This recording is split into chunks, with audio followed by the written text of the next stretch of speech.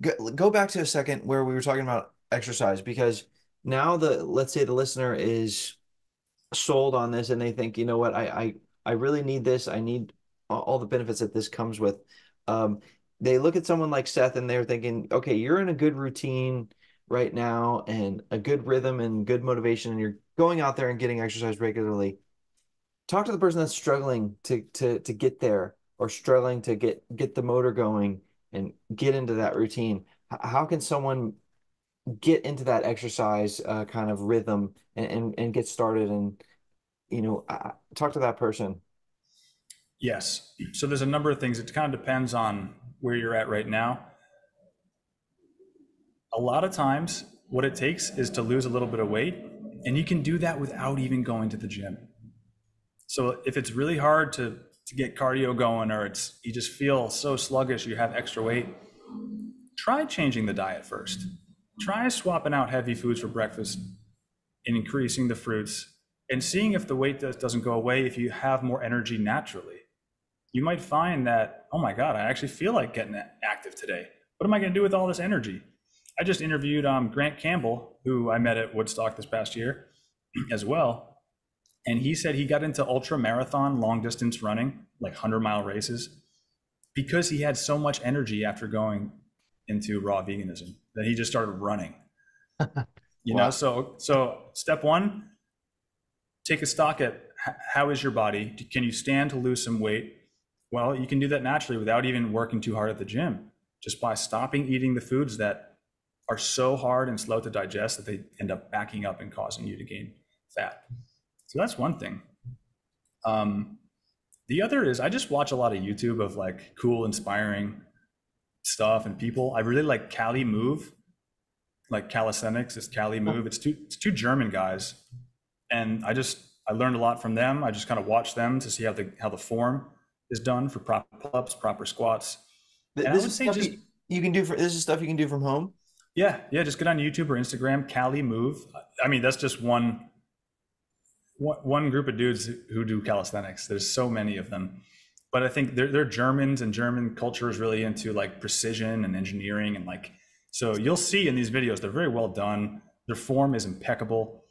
And so I think for the person who's struggling to get started, I would just start doing very, very basic stuff. Like don't even make it hard. Um, find a, a body weight squat form and just try to do perfect form. You know, squats up and down. Don't even add weight because if your form's not there, you're probably going to end up hurting yourself or not doing it right, you know, and causing an imbalance. So, yeah, what? Oh. And then the third thing I would say yeah. is just know your why.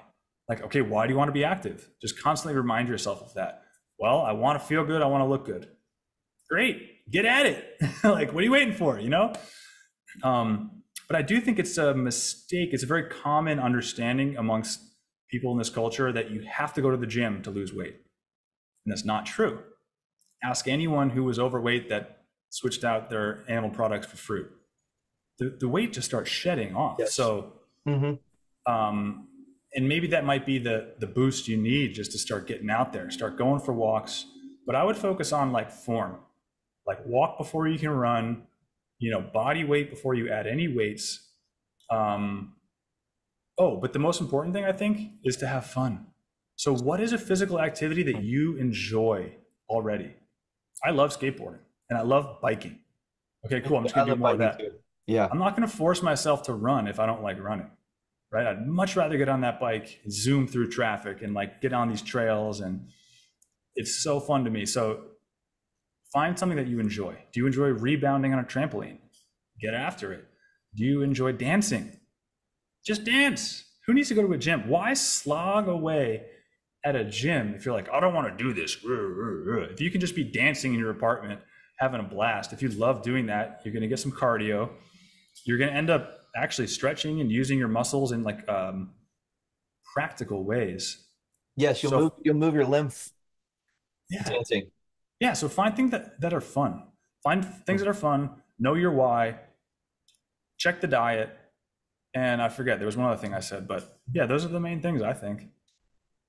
Wow. Um, we're talking with Seth Bailin. Um, make sure to check out our other segments with Seth where we go into um, some tips and tricks on getting the best quality fruit with the Fruit Companion guide, and also where we're going to talk about the principles of natural hygiene, understanding the the mechanics of how the body actually heals and solves itself.